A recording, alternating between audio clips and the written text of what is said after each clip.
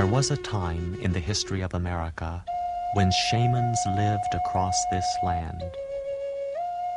People looked at animals as their relatives, believed that trees, mountains, and lightning were animate creatures, and talked to the unseen spirits. They celebrated their humanity as part of the circle life of all creation, caught up in the rotation of the seasons, the migration of animals, the reincarnation of life from generation to generation. Above all, they believed in the primacy of spiritual reality.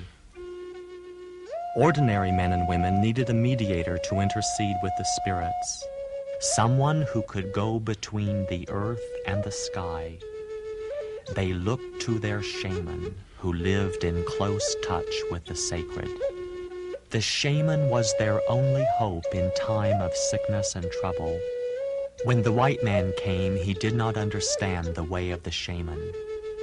He had little tolerance for other beliefs about the natural and the supernatural. Many great traditions of Native American shamanism have been lost. But now the ancient art of shamanism has returned to this country with the coming of Southeast Asian refugees.